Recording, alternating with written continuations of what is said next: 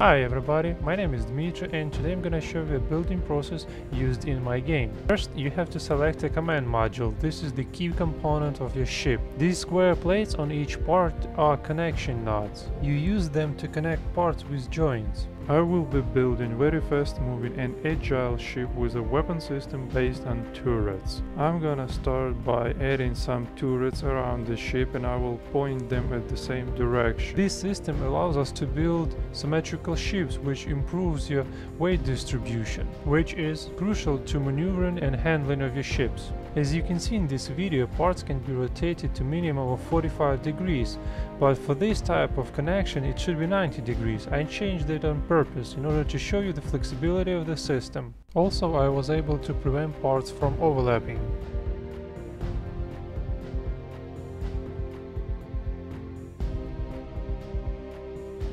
Now I'm adding two power generators which converts fuel from fuel tanks into electrical power for my system and also produces sea fuel that is used by the thrusters.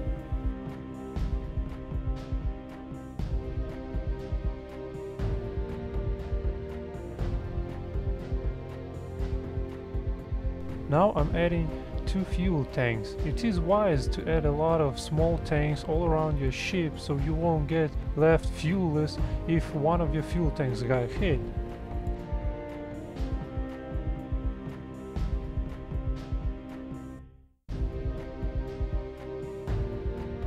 Now I'm adding couple connection beams so I will have place where to put my thrusters. In this game forces are only applied to thrusters, so the shield movement is the result of all the forces that are being applied to all the thrusters. So you need to put enough thrusters to rotate in any direction or to move in any direction.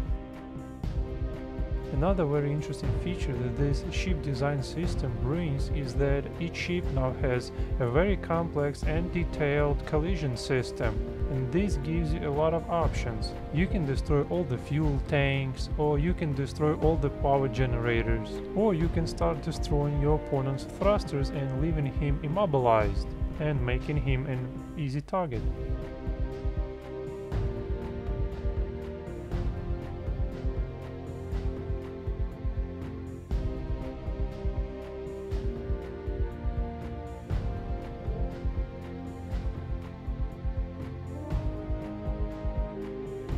Armor plates is a very interesting family of parts. They consist of square tiles and their main role is to increase your hull's armor.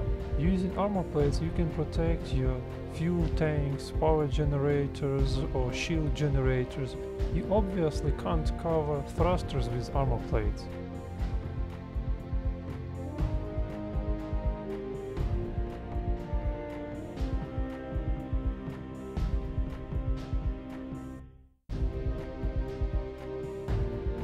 I will place a shield generator in the center of the ship, even though it's not a very big shield generator and it won't create a high level of protection, it will give me enough time to do something if I get ambushed.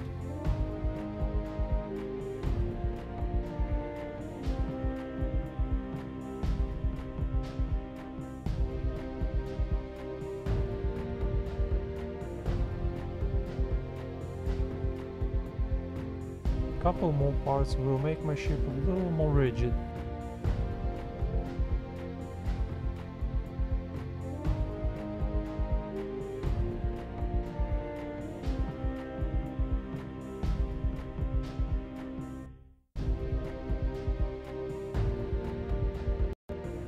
Now I'm covering a shield generator with an armor plate on the top, so it won't get hit.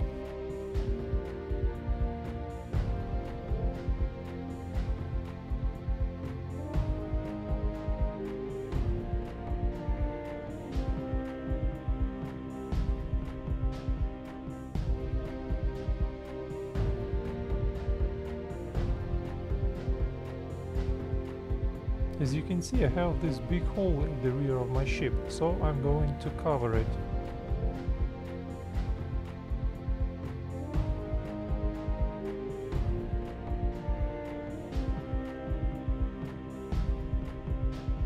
Now the only thing that is left is to add a whole bunch of thrusters around my ship. There will be a limitation for how much thrusters you can add per ship, but don't worry, you will be able to add a lot of them.